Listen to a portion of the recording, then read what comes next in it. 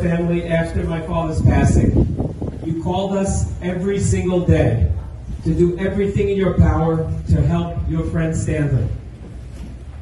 You were fighting a war against an invisible enemy, recklessly or maliciously released onto our shores from China, and you still made time to offer your assistance to us. President Trump, your sincerity and care for my father, I will never forget.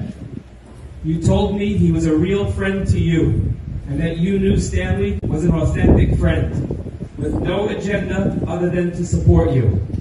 You said, Stanley didn't have an ounce of envy in him, and that he always was a sincere supporter. Well, Mr. President, I know firsthand that you are a real friend, and you are the real thing. And anyone would be happy, be lucky to have a friend so real as you.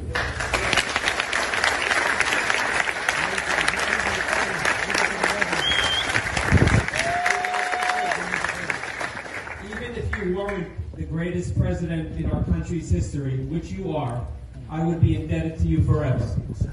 You gave my dad his greatest excitement. He loved calling your wind from the beginning. You were one of 17 candidates, and I will never forget being at a lunch with New York big shots and bankers, and one of them sarcastically asking, Hey Stanley, what do you think Trump chances are?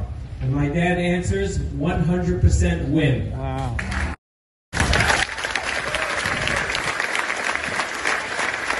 I leaned over to my dad.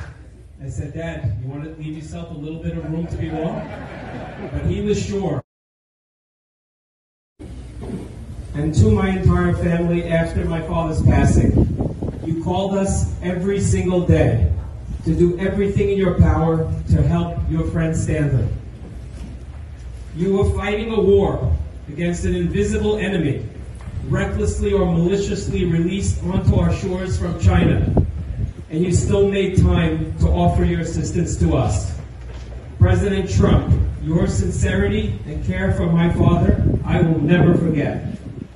You told me he was a real friend to you, and that you knew Stanley was an authentic friend, with no agenda other than to support you. You said, Stanley didn't have an ounce of envy in him, and that he always was a sincere supporter. Well, Mr. President, I know firsthand that you are a real friend, and you are the real thing. And anyone would be happy, be lucky to have a friend so real as you.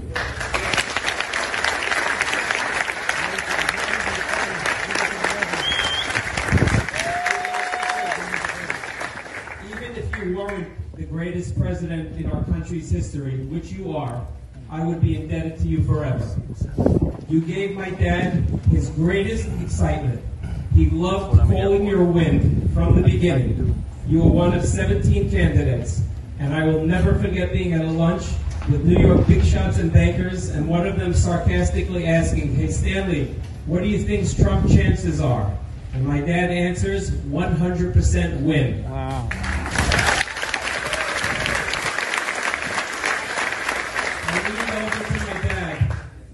Said, Dad, you want to leave yourself a little bit of room to be wrong? But he was sure. He said to me, My friend Donald doesn't play a game, he doesn't win. Mm-hmm.